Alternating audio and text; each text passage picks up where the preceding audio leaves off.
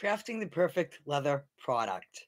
Leather has a timeless appeal. It eludes elegance, durability, and style. It's a material that has been used for centuries, and its versatility makes it perfect for crafting a wide range of products. Whether you're a nature loving enthusiast or somebody who simply appreciates the versatility and functionality of leather products, here at Log Cabin Leather by Jan, I've got you covered. If you don't know who I am, my name is Jan Hibbard, and I've been making handmade leather goods now for 46 years. Uh, today, I'm going to take you a little bit through the process of how I select leathers, the different types of leathers, uh, how I prepare the leather for working on it, how I, you know, cutting and sewing, finishing touches, and a little bit of the care and maintenance. Basically, I'm just going to, you know, touch on these topics. I will be creating videos every week. So if you want to find more about how I make my particular products, then please subscribe to my channel. Always a thumbs up would help. If you're watching this Facebook, again, follow my page, like my posts. That would really help. So, anyway, let's get right to it. Selecting the right kind of leathers. Leather, there are a million different types of leather. There's different types of tannages, there's different thicknesses, different weights, different size pieces. Now, unlike buying something made of cloth, you can buy the size piece pretty much you need, you want. Not true with leather. You're either buying large pieces. I mean, again, it comes in sections, but they're basically a cowhide. You can buy a full side, which is the entire hide from the cow, which is huge. You can buy a half a hide, you know, you can buy different pieces. Leather also comes in very many different thicknesses and there's different types of leather. There's full grain leather, which is primarily what I use. Full grain leather is basically the skin of the animal with the hair removed, and then it's tanned. So it does have some scars in it at times, but it gives you the most versatile, versatile, durable leather you can get. So, and then it can be thinned down by cutting off the underside of it to make it different thicknesses. So depending on what you what I'm making, you want different thicknesses. So I'll go into that a little bit. So full grain leather, that's what it is. It's basically it is the whole hide. Top grain leather, they shave off the top layer of the skin to remove some of the scars and so forth because again, an animal is going to have some scars and scratches on its skin. Um, so that helps remove some of the imperfections. It has a cleaner look. It's not quite as good a quality, however, though. So really, the the uh, full grain is the best. And then there's you can also get genuine leather. That might be like your suedes and things like that. And that's basically they've cut off the skin. It's kind of like the middle thickness of the hide. So again, leather comes in all different thicknesses. Now the thinnest leather I use is again, see, it comes in ounces, is about three, four ounce. Pretty thin. Um, four five is again for a lot of my smaller projects, jewelry, earrings, home decor. I'm using this type of leather. For carvings and so forth, I would like something a little thicker because I want it to have some depth to it if I'm um, carving like a nature scene or something on leather. Uh, and so it's the thickness this way. This, is what I'm showing you now, is also called vegetable tan leather. There's different tanning processes. Vegetable tan leather is primarily what I use. It is tanned with natural products like bark, vegetable products. Oak is a, is a primary tanning agent because the tannin in acorns is used to tan leather. And so it is a natural, biodegradable, eco friendly type of leather. Now, again, for my smaller projects and things that I'm going to paint on, it's a natural color. Again, belts, I use that kind of leather, except now it is much, much thicker. I don't know if you can see the difference between that, you know, and this. And, and so this is where, for different products, there's all different types of leather. And so, and because you're buying big pieces of it, it's expensive. so in my quest, I'm narrowing down a little bit on the type of products I make. In the past, I made wallets and things like that, but that's thinner leathers, different types of leather. So that's really not things I'm doing much anymore because that's not a type of leather that I want to buy large quantities of. Um, again, the vegetable tan leather is primarily what I'm using now. It is used for my belts, my hand tooled belts, but also my solid color belts. Now, this is still the same leather, except it is dyed at the factory, which gives it a more uniform color and so forth. I will be having other videos about, again, how I color and so forth, and you can probably find some older versions of those, probably not very good um, as well. As my lighting is still not my greatest yet. Got a little brighter. I'm not sure. All right. So again, different types of leather.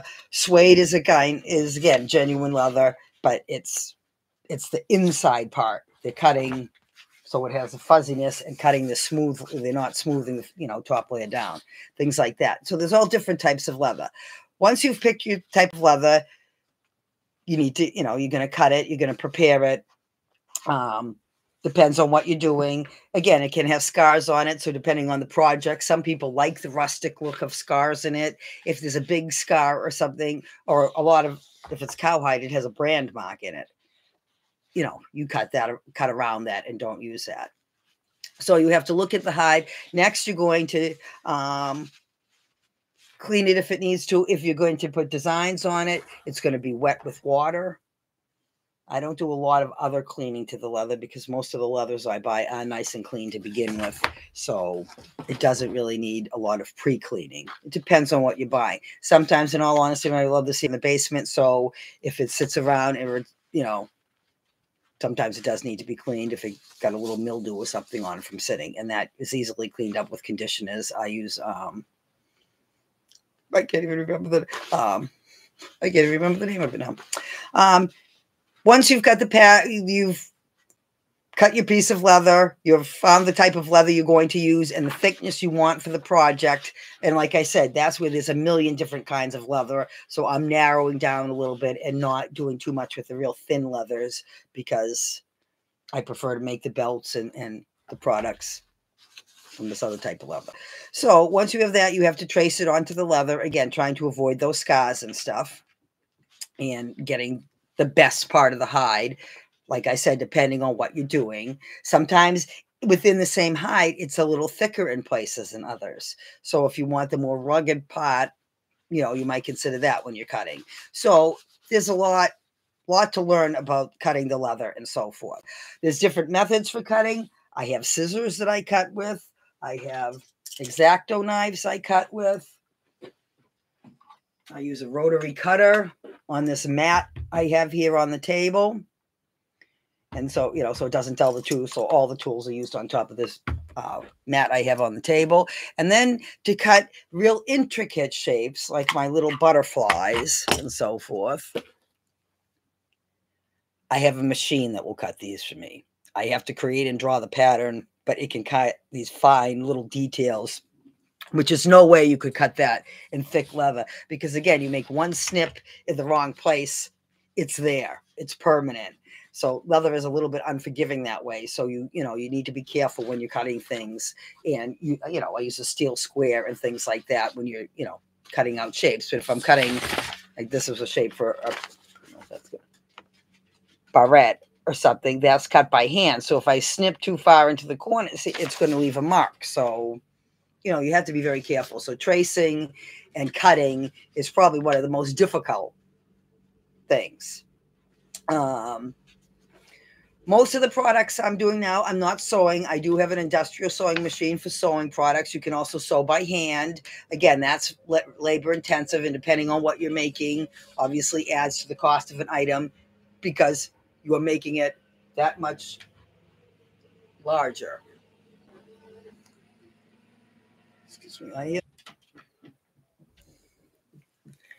Sorry for the little chaos there. Uh, we had a, a, roller, you know, a pavement roller come up the driveway or whatever they're working on our street down here. So that interrupted the video a little bit. So I apologize for that. In any event, I was talking about cutting and sewing leather. Most of my products now, again, are not sewn. That I think is also another reason that make my belts a little bit better. They're not sewn together. They are one thick piece of leather. They don't need to be sewn together. They're rugged, they're durable, they're going to last. So again, when I do sew things, I have a sewing machine sewing by hand. Again, takes a lot more time. I have lots of projects that I have sewn. Again, this is a combination.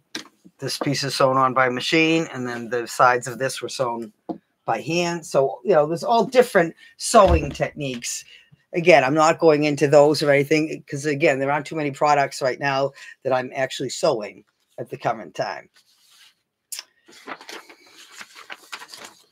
So again, different ways of sewing them. Again, I'm going to have different videos where I go into more detail behind the scenes, actually showing the making of a product. Today, I'm just kind of highlighting the different aspects and different steps that go into making handmade leather products. So sewing it. Once it's sewn, then it needs to be finished. And this is where it really makes a difference, I think, in particular on belts. Now, the edges of my belts are beveled and burnished. I don't know if you're going to be able to see the difference. This is just a belt strip. The edges are sharp, square. See how thick that piece of leather is? Um, so heavy. This, the edges are rounded now, which makes the belt more comfortable. They're also smoothed off. You don't see the rough fibers like you do on this. So that also is part of this. Again, I'm having probably I'm having trouble recording here, so I apologize for that. My videos and things are wigging out on me. So again, edging, burnishing, finishes the edges, smoothing them off makes a much nicer product. So on things like belts, the edges are smoothed nicely. You know, something like this, the edges are smooth enough, trying to make it almost look like it's one piece of leather when it's done. How you finish them and you make them, you know, look nice. Uh, I can also customize things. So I'm just going to briefly touch on that. Belts, again, I can put initials on, guitar straps. It's a little bit hard to do it once I have a finished product. It's not something I can do on the fly. But again, certain things I can engrave on. It's a, an option I could do after the product is finished beforehand. I can be stamped, tooled, carved, things like that. So guitar straps, belts, I do a lot of custom work there, some book covers and so forth where people want a particular design on it.